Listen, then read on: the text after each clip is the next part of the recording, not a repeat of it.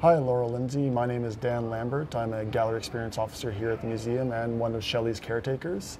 Uh, thank you for your interest in the Royal Tyrrell Museum soft-shelled turtle Shelly. Shelly's been living at the Royal Tyrrell Museum for about 19 years now, and she is a captive bred uh, soft-shelled turtle, Apalone ferox. In the wild, soft-shelled turtles tend to spend most of their time in the mud at the bottom of rivers, streams, ponds, and stuff like that.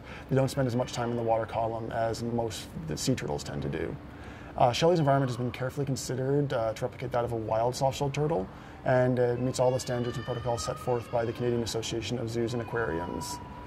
Uh, Shelly uh, and soft-shelled turtles in general tend to be very uh, solitary and aggressive animals. Uh, they prefer a solitary lifestyle. She has a habit of fighting with or eating any friends that we have tried to introduce to the tank to her. Uh, but that doesn't mean she does have a healthy carnivorous appetite, though, and she is monitored constantly to make sure that she is staying healthy. We do give her lots of fish to eat. We tend to bury them in the sand or hide them under the rocks and logs in there to simulate a natural foraging behavior for her, or pull them along the middle so she can safely chase them without injuring herself.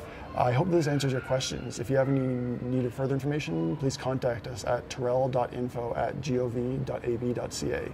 Thanks.